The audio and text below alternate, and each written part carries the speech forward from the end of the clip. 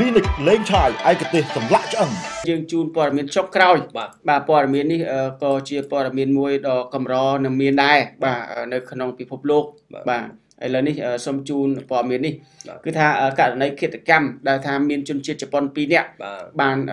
អាកសម្រាប់អ្នករត់តាក់ស៊ីដើម្បីប្លន់យករថយន្តប៉ុន្តែมันបានសម្រេចបាទហើយអ្នកបើកតាក់ស៊ីគាត់បានស្លាប់ទៅហើយជនជាតិជប៉ុន2នាក់ហ្នឹងត្រូវបានចាប់សមត្ថកិច្ចចាប់ខ្លួនតែរត់រួចម្នាក់ បាទនឹងហើយឥឡូវនេះបន្ទាប់ពីមានរឿងរ៉ាវនឹងកើតឡើង បានន័យថាជនជាតិជប៉ុន ដែលជាអ្នករកស៊ីផ្សេងផ្សេងនៅក្នុងជនជាតិជប៉ុនដែលមានចិត្តសុបរធម៌ហើយមនុស្សត្រឹមត្រូវគេតែងតែគិតឃើញថានៅអាស៊ីជប៉ុន គឺមនុស្សដែលគេថាប្រជាជនដែលមានគិតយល់ថ្លៃថ្នូរបាទគាត់បានមកចេញជាបង្កើតអីគេមូលធិបាទនឹងហើយអញ្ចឹង បន្ទាប់ពីមានគិតកម្មនឹងកើតឡើងក៏មានជនជាតិជប៉ុនដែលគាត់អ្នករកស៊ីនៅកម្ពុជា ដែលមានអ្នករកស៊ីផង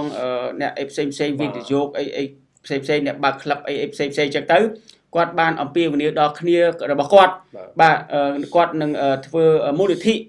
ដើម្បីអំពាវនាវរកថវិកាជួយទៅដល់ក្រុមគ្រួសារគ្រួសារនៅរត់តាក់ស៊ីហ្នឹងដែលគាត់បានស្លាប់គឺថាឥឡូវនេះគ្រួសាររបស់គាត់នៅបន្សល់ទុកស្ត្រីមេម៉ាយ ដែលត្រូវគ្រប់គ្រងកូន4នាក់នៅក្នុងបន្ទុកបាទអញ្ចឹងហើយថ្មីថ្មីនេះគឺលោកអាគីហ៊ីអាគីហ៊ីរ៉ូកាតូប្រធានក្លឹបកីឡាបាល់ទាត់អង្គរ Tiger បានអំពាវនាវសូមឲ្យជួយ បាទជាថវិកាបាទដើម្បីទ្រទ្រង់ជួយទៅដល់ក្រុមគ្រួសារជនរងគ្រោះបាទក្នុងគ្រួសារ នឹងហើយដល់ពេលអញ្ចឹងក្នុងក្រុមកីឡាហ្នឹងគឺថាមានអ្នកខ្លះផ្ដល់ថវិកាចំនួន1000ដុល្លារបាទមានអ្នកខ្លះទៀតផ្ដល់4000ដុល្លារបាទរួចមកហើយកាលពីថ្ងៃទី20 20ខែមីនាបាទអញ្ចឹងហើយប្រជាពលរដ្ឋក៏ដូចជាខាងក្រុមគ្រួសារជួយរកគ្រោះក៏បានទទួលថវិកាពីក្រុមមូលនិធិនេះ ចឹងនេះគឺជាការទឹកចិត្តមួយរបស់ជនជាតិជប៉ុន ដែលថាជនជាតិជប៉ុន គឺជាជនជាតិមួយដែលមានភាពថ្លៃថ្នូរបាទបាទប៉ុន្តែបែរជាជនជាតិជប៉ុនពីរនាក់នេះបែរជាទៅប្រព្រឹត្តធ្វើឲ្យខូចអំបូរហើយជាពិសេសធ្វើឲ្យបែកបាក់ដូចជាសាមគ្គីភាពរវាងកម្ពុជាជប៉ុនផងដែរ បាទបាទមិនដល់កម្រិតនោះទេគាត់ថាយើងមើលឃើញទៅគឺបុគ្គលតែ2 3នាក់បាទដែលប្រព្រឹត្តខុសទេ